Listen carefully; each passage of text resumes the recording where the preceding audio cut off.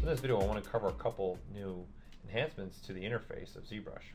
First thing we want to take a look at is you'll notice that when you open a subpalette now, there are double line here between sections of certain subpalettes. What this is going to allow you to do is click on those lines to collapse those sections and allow you to customize the look of your subpalette now. So you can also hold the shift key when clicking on these lines to open all groups at once or hold the shift key and click on the line to close all groups at once. So there are a couple preferences for this feature. In your preferences interface subpalette, you'll notice that there's a use UI groups which is on by default and then you also have an auto close UI groups. So with this button on, what ZBrush will do is when we go to open one of your subgroups, it'll automatically collapse all other subgroups as it's doing here.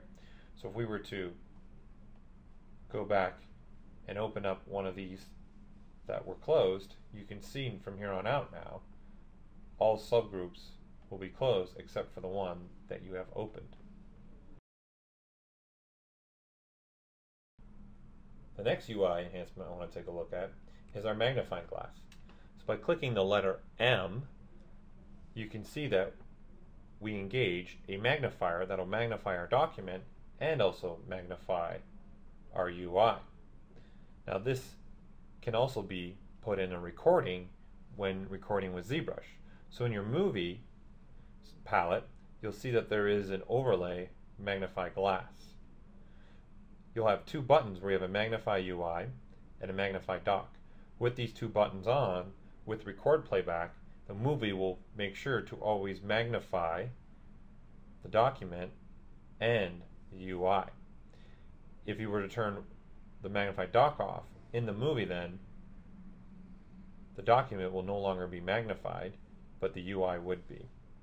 You also have several preferences for this in our in our magnify glass subpalette. So you can make your radius larger, you can adjust your zoom, the fade along the edge. You can put more of a curvature or less of a curvature.